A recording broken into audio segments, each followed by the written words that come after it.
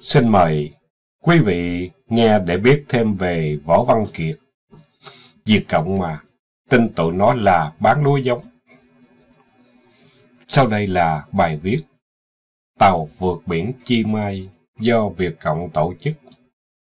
Tác giả là Thuyền trưởng Tiêu An May mắn cho tôi là khi vượt biên vô cùng thuận buồm xuôi gió. Nhưng ngược lại, tôi là chứng nhân của một vụ cướp của giết người thật là trùng rợn. Do bọn Cộng sản Việt Nam thực hiện vào năm 1977, tại căn cứ Hải quân các Lái cũ của Hải quân Việt Nam Cộng Hòa.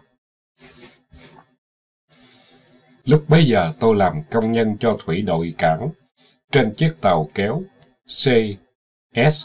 Gray 92, xoài rạp, vào khoảng tháng 1 năm 1977. Tàu chúng tôi chạy lên con sông Sài Gòn, tới phía sau nhà máy nhiệt điện Thủ Đức và kéo chiếc tàu tên là Chi Mai về Kinh Tân Thuận, để cơ xưởng cảng Sài Gòn gắn thêm một số máy phụ, như máy sạc gió, máy bơm nước lường cũng như gắn thêm một số ống gió thông hơi từ bon tàu xuống tận ba tầng dưới hầm máy.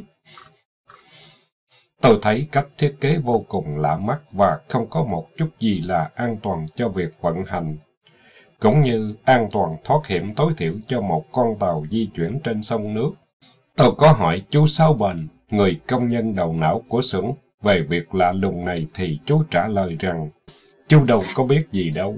Nghe nói rằng thành ủy thuê xưởng sửa chữa làm một số việc và nhà nước đôi bên thanh toán cho nhau. Chú chỉ là lính lát nên đâu biết gì việc của họ. Con tàu này có máy chính hiệu của Đức chế tạo, công suất 90 horsepower. Con tàu này dài khoảng chừng 22 mét, rộng 5 mét rưỡi, chiều sâu tính từ móng nước khoảng 3 mét 3. Nhưng nếu tính từ trên mặt bon khoảng 5 mét là cùng. Khi tàu này gần ra khỏi ụ sửa chữa, nó được hàng thêm một số miếng sắt chữ V loại 60mm làm một bon giả thêm nữa, cao hơn mặt bon khoảng 1,7 mét. Bây giờ, những người Hoa Kiều trong chợ lớn thường tập nập vào tàu này xem xét cúng bái và họ thường mang trái cây hoặc thịt thà qua biếu cho chúng tôi ăn. Sau vài lần, họ muốn thuê chú Hai Lâm Văn tới làm cơ khí trưởng cho tàu này. Họ nói dối rằng đấy là tàu khách chạy từ Sài Gòn đi Cần Thơ. Nhưng chú khước từ vì tàu CSR 62 của chú cũng sửa chữa sắp xong để hoạt động kéo xà lan nước đi Vũng Tàu, cung cấp cho các tàu chiến cũng như đánh cá, đang neo tại vùng cảng ấy.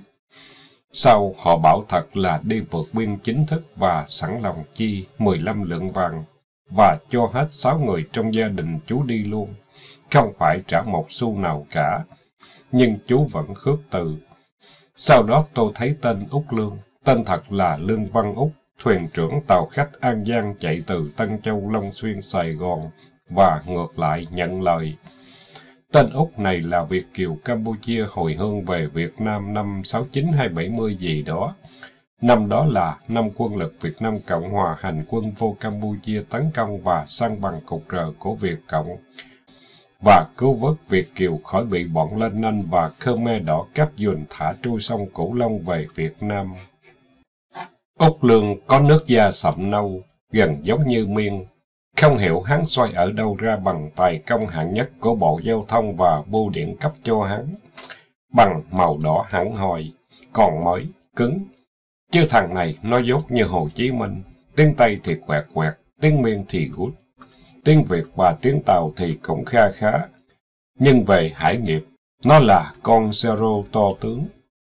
Nội việc khử từ trường cho hải bàn khi tàu sửa chữa hay trang bị thêm chi tiết nó cũng không biết. Làm floating radar hoặc tâm phương qua tín hiệu kiểm báo nó cũng mù tịt. Thì nói chi đến tính toán sai biệt trục địa cầu hàng năm để cộng thêm vào hướng đi, hoặc trừ bớt cho đúng với hướng thật sự muốn đi, nhưng hắn vẫn nhận trách nhiệm, đưa tàu đến cát lái. Giờ đây tôi không chắc nhớ rõ ngày tháng sự vụ xảy ra, tôi chỉ nhớ lúc ấy trời nắng gắt lắm, khoảng tháng tư hai năm gì đấy.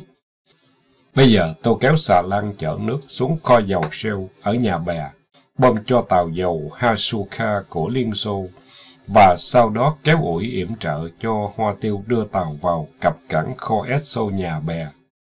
Việc xong xuôi, tôi cặp xà lan nước đã giao hàng xong kéo về lại cảng Sài Gòn. Nhưng khi tàu sắp quanh vào khúc đèn xanh đỏ của sông Sài Gòn, thì tôi thấy người trôi nổi lặn học bơi ngửa bơi sắp đủ kiểu hết. Họ có áo phao bằng styrofoam hoặc bằng túi hơi như loại hàng không phát cho hành khách. Cũng có người ôm bẹ dừa nước thả ngựa trên sông. Tôi cho giảm vận tốc tàu lại và yêu cầu anh em thủy thủ ở tàu kéo, cũng như xà lan thả các thang dây trên tàu và xà lan xuống tận mé nước, đồng thời lấy các phao tròn cột dây và quăng ra cho họ bám vào, để kéo họ lên các thang dây của tàu và xà lan.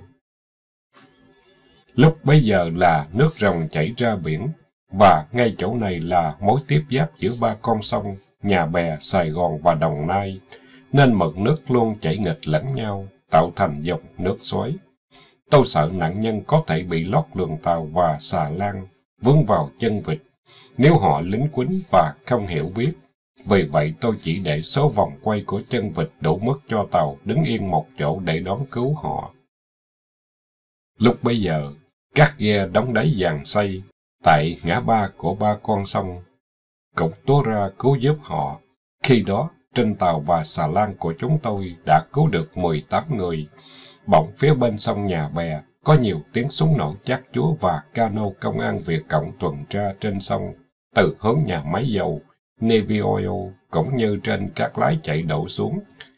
Trôi theo dòng chảy, chúng bắn vào nạn nhân bơi trên sông không một chút thương tiếc, và đuổi theo bắn tận nhà máy Silico gần đến vàm sông Phú Xuân, nơi có căn cứ của bộ đội biên phòng đóng giữ. Riêng tàu của chúng tôi bị một tàu tuần tiểu có khoảng sáu công an nhảy lên bắt những nạn nhân này trói lại bằng dây ở những chiếc phao họ mang trên người, rồi đẩy họ té xuống tàu tuần cảnh, thấp hơn mặt bon xà lan ít nhất hai mét. Khi không còn chỗ chứa các nạn nhân, chúng xô họ trở lại dòng sông, lúc đó đang chảy xiết. Tôi la lên cản ngăn chúng, nhưng chúng bắt tôi vào trong phòng lái, và yêu cầu tôi chạy về cầu bến phá cát lái. Trên đoạn đường không đầy hai cây số này, tôi thấy vô số các túi sách may bằng nhựa simili và vỏ đệm trôi bồng bềnh trên mặt nước. Chúng ra lệnh cho tàu chạy chậm lại và dùng vợt. Chúng tôi thường dùng để vớt lông nhôm thực phẩm hoặc thức uống của tàu ngoại quốc thường vứt bỏ trôi nổi trên sông Sài Gòn.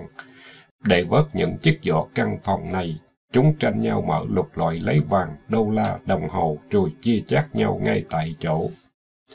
Vì phải chạy chậm để tụi công an vớt những chiếc vỏ trên mặt sông, nên hai giờ sau tàu chúng tôi mới cập được bến phà cát lái trong khi đoạn đường không đến hai cây số, mà vận tốc bình thường của tàu tôi là 16 hải lý một giờ.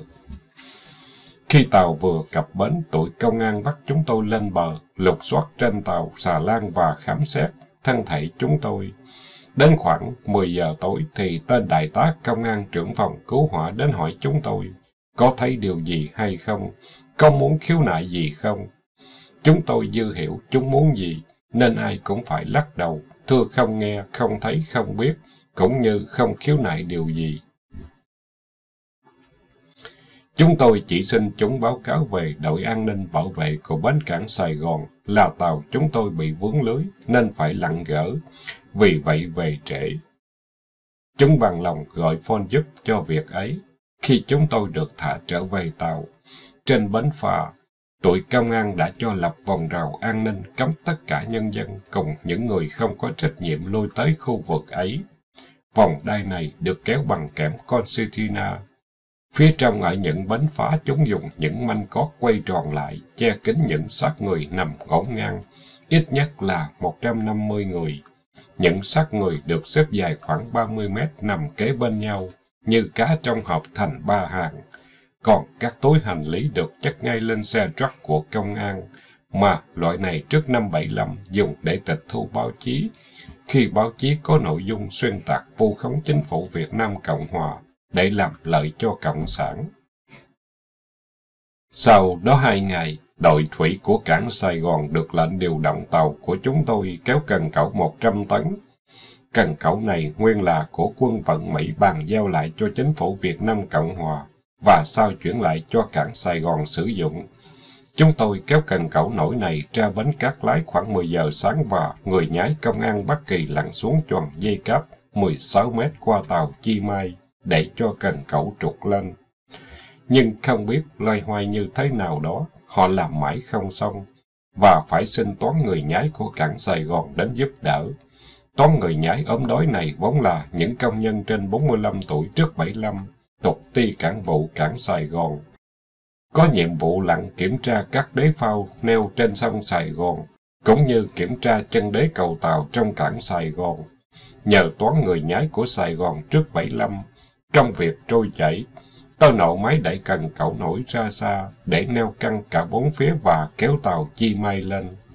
Khi dây cáp được kéo lên chưa được ba mét, từ dưới mặt nước nổi vọt lên những xác người như những trái ngư lôi thoát ra khỏi bậy phóng. Máu từ mũi tay của họ trào ra trong thật thảm khốc.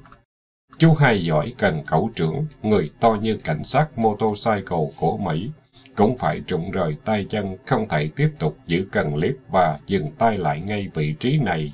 Bọn công an trên tàu phà bấm tay lại làm lo, ra lệnh kéo tiếp lên. Anh xanh phải nhảy lên phòng điều khiển thay chú hai giỏi. Dây được kéo lên từ từ, thật chậm, từng tấc, cáp mỗi lần chuyển dịch, xác người tiếp tục vọt nổi lên. Tôi không nhớ rõ lắm vì cảm giác đã chết cứng tê dại. Mắt mở, nhưng hình như không còn biết gì cả. Vì đấy là xác người vô tội bị Việt Cộng xua đuổi hoặc lừa đảo, nên họ phải trốn ra nước ngoài. Họ là những người giàu có, có nhà cửa khang trang, cơ sở máy móc sản xuất, mà bọn Cộng sản Bắc Kỳ xâm lược đang thèm thuồng muốn chiếm lấy làm của riêng, nên đã lừa họ mang của cải xuống tàu rồi tìm cách giết họ để chiếm đoạt của cải. Khi tàu nhô cột cờ lên khỏi mặt nước, một thảm cảnh mà suốt 16 năm sống xuôi ngược trên các dòng sông của Việt Nam, bờ duyên hải Việt Nam và Philippines, tôi chưa bao giờ trông thấy cảnh tượng như thế. Quý vị à, một phụ nữ tay ôm chặt đứa bé gái khoảng một tuổi đã xình chương cuộn tròn như một quầy dừa non. Chiếc áo choàng bằng thứ vải ni lông dày, mắt vướng vào các móc dùng để móc cờ hiệu của tàu hoặc tín hiệu, trên mặt của nạn nhân bị tôm cá rỉa, mất gần hết một bên mặt. Tàu chi mai tiếp tục được kéo lên. Trên mặt bon không còn gì tồn động. Trong cabin lái, xác hai cô gái trẻ ôm nhau chết cứng. Tàu chi mai tiếp tục được đưa lên cao. Nước tràn ra từ các lỗ. các lỗ tròn để cho thủy thủ có thể quan sát bên ngoài hay mở ra để nhận lấy gió khi những ngày biển êm gió lặng. Nước chảy tràn ra cho thấy bên trong xác người dần xẹp xuống như cá được đóng vào hộp vậy. Cuối cùng, tàu Chi Mai được đặt trên bon cần cẩu 100 tấn. Sau khi các kè được chêm chặt hai bên hông tàu Chi Mai, chúng tôi thấy bên hông phía tay phải của tàu Chi Mai có một lỗ thủng to hình dạng tròn méo mó. Phần phía trước của lỗ thủng bị tét ép vào phía trong thân tàu, chứng tỏ khối thuốc nổ được đặt từ bên ngoài xác người bên trong chắc phải còn đủ cả. Vì lỗ thủng này, xác người không thể trôi ra được, vì tàu bị chìm nghiêng về phía này, bùn non và đất sét còn bám chặt cả một bên thân tàu. Xác người được đưa ra khỏi tàu Chi Mai đưa lên bến phà Cát Lái. Lập tức các túi hành lý bị tụi công an Việt Cộng tịch thu, đem lên xe cây ngay lập tức. Không có thân nhân hay bất cứ ai léo hánh ở khu vực này. Chỉ huy bóc dỡ các tử thi này là Đại tá Việt Cộng Đinh Mười, trưởng phòng cảnh sát phòng cháy chữa cháy thành phố Sài Gòn, và một tên đại tá khác của phòng cảnh sát trên sông. Lúc bấy giờ, bí thư thành quỹ là Võ Văn Kiệt. Tổng cộng xác chết được đem ra là 426 xác cả nam lẫn nữ. Tôi đã không dám ăn thịt cá tôm cua hơn nửa năm trời. Mặc dù lúc bấy giờ, công nhân kỹ thuật thuộc Tổng cục Đường Biển như tôi, mỗi tháng chỉ mua được hai ký thịt heo cho nhu yếu phẩm mà thôi. Thằng Lương Văn Úc tài công chiếc tàu Chi Mai còn sống nhăn răng tại Sài Gòn. Sau vụ nổ tàu Chi Mai, Cộng sản không có cách gì che giấu được. vì hơn 170 hành khách nhà nghèo. Loại đóng năm cây vàng cho một đầu người phải chịu cảnh đứng ngồi như cá hộp. Họ hiểu đi tàu trong hoàn cảnh đó sẽ bị ướt lạnh khi trời mưa giông, vì cả hai thứ nước mưa và sóng biển. Họ chắc chắn hiểu được thân phận và những rủi ro có thể mang đến cho họ khi bị say sóng, hoặc sóng to phủ chụp lên tàu có thể cuốn họ xuống biển, nên họ chịu rất nhiều tổn phí để kiếm mua phao, vì thời ấy của đó là hàng quốc cấm, không có chợ nào được bày bán cả. Ngay cả như tôi, thuyền trưởng tàu kéo cấp 3, có công suất trên 1.200 mã lực, là loại chỉ đếm được trên đầu ngón tay vào năm 1989 vẫn không có áo phao cho cá nhân của mình nữa đó. Chỉ cấp loại xốp bình cà rem nhét vào áo khỉ như áo bộ đội mang băng đạn AK vậy, nhưng vẫn phải ghi tên và chức vụ bằng nước sân đỏ. Và điều này phòng vật tư của công ty làm sẵn phát cho tàu. Nếu bị mất phải làm báo cáo và kiểm điểm như mất súng vậy. Chính các phao này đã giúp cho hầu hết những người trên bon này thoát ra khỏi tàu Chi Mai ngay lúc nó nghiêng chìm. Chỉ có những người thông thuộc với sông nước nên ỷ lại không mặc vào, có thể bị chết hoặc thoát hay tù sau vụ chìm này. Điều tôi nói đây có kiểm chứng, vì bốn ngày sau đó, những xác trôi nổi trên sông nhà bè Phú Xuân xoài rạp lòng tàu, cũng như trôi dạt vào những miệng đáy đóng trên sông để bắt tôm cá. Người dân đã báo cho nhà cầm quyền đem đi mai táng hoặc trả xác lại cho thân nhân. Còn cảnh công an Việt Cộng bắn vào người vượt biên hôm đó, chính mắt những người đóng đái thấy, thủy thủ tàu CSG-92 và xà lan 64 thấy, công nhân nhà máy Viva Oil, cũng như cư dân trên bờ sông nhà bè phía đèn xanh đều thấy hết. Chưa hết đâu, những người đi đăng ký tập trung tại bến xe Văn Thánh, ngoài ngã ba hàng xanh để cho xe bus đưa vào bên phà cát lái. Nhưng còn hai xe bus chót chưa vào tới bến, thì mình đã nổ. Không biết vì xe bus đến chậm hay thằng công an tay nghề quá dởm, gài kim định giờ không chính xác. Điều này từng xảy ra trong thời chiến qua các vụ đặc công Việt Cộng đánh các cầu Bình Triệu, Bình Lợi, Tân Cảng. Đặc công Việt Cộng ôm mình lội ven sông để gài giật sập cầu, nhưng lội chưa tới nơi thì mình phát nổ. Báo chí phổ biến tin tức, lính địa phương quân dự cầu đều biết chuyện này. Việc Việt Cộng bắn chết người thường dân vô tội đâu có phải là điều hiếm hoi ở trong thời chiến cũng như thời bình. Hơn nữa, Việt Cộng đã dán bản cáo trạng khắp hai miền đất nước rằng vượt biên là phản quốc. Vì vậy, chúng sợ ai không dám bắn. Hơn nữa, Việt Cộng bắn để cướp của, vì người bị chúng bắn là thành phần tư bản, bị Việt Cộng ghép vào tội phản quốc bóc lột. Còn hai chiếc xe bus chở người vượt biên đến sau, khi thấy tàu Chi Mai bị phát nổ, bọn công an liền ra lệnh cho quay đầu lên hướng nhà tù Thủ Đức tạm trú qua đêm, và sáng hôm sau chở thẳng lên Bù đốt nhúc cho đến gần bốn tháng.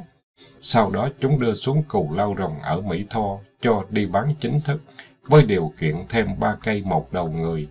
Ngoài ra còn vụ cho chìm tàu khách Vũng Tàu tại ngã ba Thiền Liền năm 1979 để cướp tiền cướp của nữa. Vụ này Việt Cộng bán bãi xong, trở giọng lật lọng bắt khách ra đi, đa số là bắt di cư năm 54 và giáo dân giáo sứ Tân Định, bà Chiểu. Trong đó có con của nhạc sĩ Lê Văn Thiện, hòa âm cho ban nhạc shotgun của ca sĩ Thanh Thúy. Thuyền trưởng tàu CSJ 92, Tiêu An Bài viết đến đây đã chấm dứt. Xin cảm ơn tác giả. Cảm ơn bà con cô bác đã lắng nghe.